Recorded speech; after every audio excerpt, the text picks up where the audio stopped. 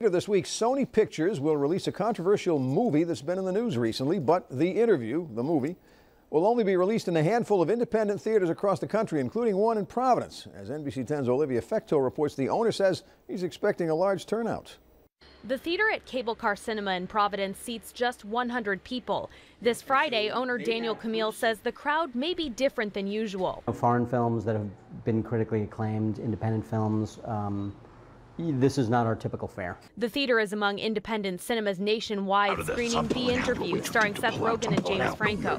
We got the interview! The CIA would love it if you could take him out.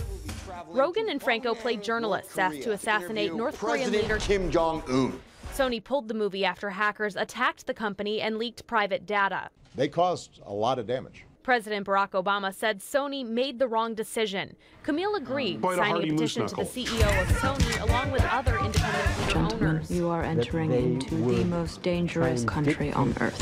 Please remember Kim Jong Un. um, what we can and cannot see. So I do see it as a First Amendment issue. Sony reversed its course, allowing for limited release of the movie in theaters. Nationwide, independent theaters are preparing as moviegoers buy tickets. We can't let people push us around. The FBI says North Korea is behind the attack and the threats against theaters that followed. The idea that we would be physically attacked for screening this, I don't think is credible, and I find it, frankly, absurd. Cable Car plans to post tickets for sale on its website Wednesday evening. For Kamil, showing the movie is a no-brainer. I militantly support um, our right to see stupid stuff.